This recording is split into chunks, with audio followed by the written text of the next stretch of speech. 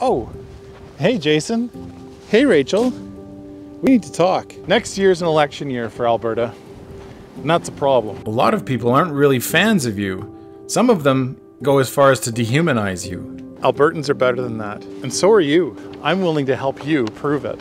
I'm an optimist when it comes to people. I believe that when humans engage with nature, they learn a lot about who they are, become more themselves, more real, more human. And I believe we haven't seen that side of either of you before. And I'm willing to try and show that side if you'll let me. You're probably wondering, who is this guy?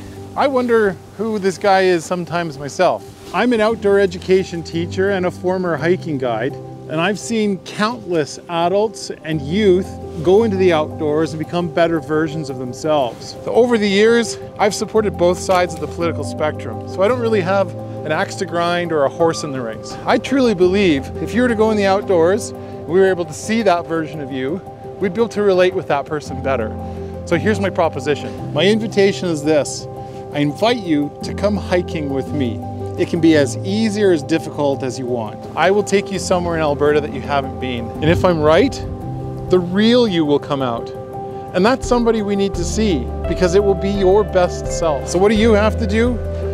Get your people to send an email to outright.adventure.films at gmail.com and we'll figure it out from there.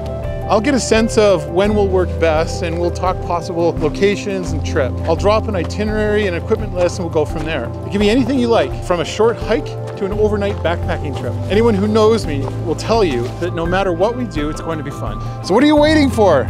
Let's make this happen. Let us see your best version. These days, we really could use some good news.